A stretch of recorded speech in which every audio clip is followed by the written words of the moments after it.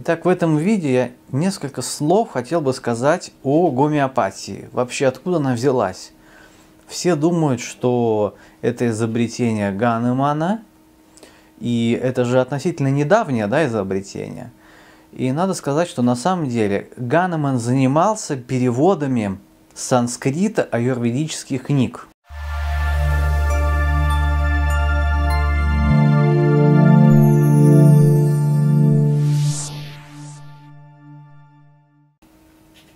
И когда он занимался этими переводами, в, одной, в одном из разделов он нашел информацию о маленьких дозах фитопрепаратов.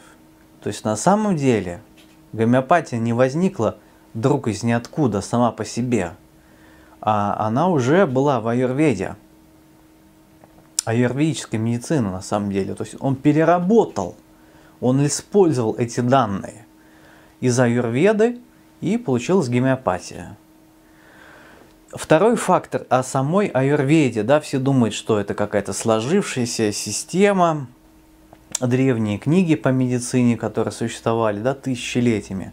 Но на самом деле аюрведические школы в Индии а, прервали свою традицию передачи вот этих знаний от учителя к ученику. А, школа аюрведическая была прервана из-за внедрения англичан. Потому что на самом деле англичане, когда они колонизировали Индию, они занимались тем, что они уничтожали эту аюрведическую школу.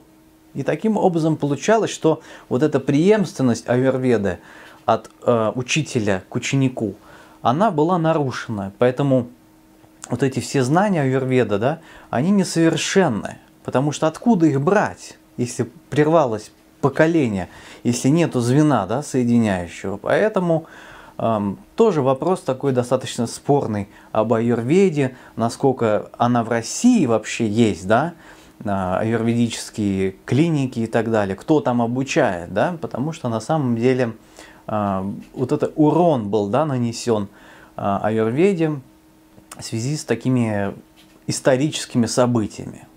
Вот, собственно говоря, что я хотел сказать о гомеопатии нового и об аюрведе.